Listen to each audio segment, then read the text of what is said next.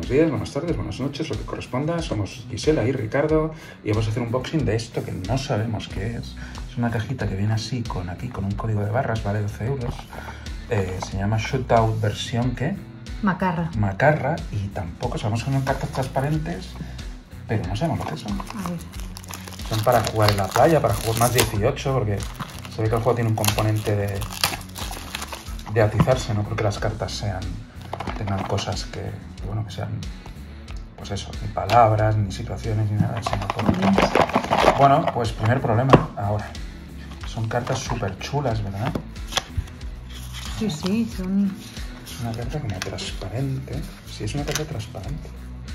Pero, ¿por qué más 18 si son números? Porque te, te, tienes que pegar y tienes que hacer cosas que para un crío a lo mejor no... Pero es plástico, plástico, ¿eh? Sí, sí, es plástico, es plástico. Eso es una carta de plástico. Espera, espera, todas las cartas por detrás tienen un código de barras.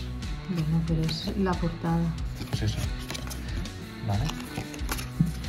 Mira a ver cuántas hay. Números, números, no tiene nada más, números. No, números, sí. Y esto, Ojo, macarra. Esto, macarra, otro macarra, un macarra real del 12. Ah, vale, las que son, serían como los Sota, Sota caballo, y rey. rey, ¿vale? 12, 13 el son rey. Y nos, nos da impresión que hemos comprado una baraja española. Rojo ¿no? y negro. De, de los mazos de plástico. Bueno, ¿y esto dónde están? Aquí están las instrucciones, es Rojo esto. Pero es chulo, las cartas Sí, sí, sí, molan. ¿eh? Las instrucciones son estos, nada más. Ah, sí, aquí está cómo se hace el Central D, cómo se hace la...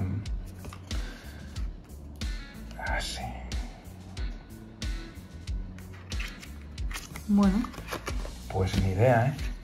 ¿Hemos acertado o no? Ah, bueno, ya os contaremos. Esto sí que grabaremos algún vídeo de partida, cómo se juega y tal.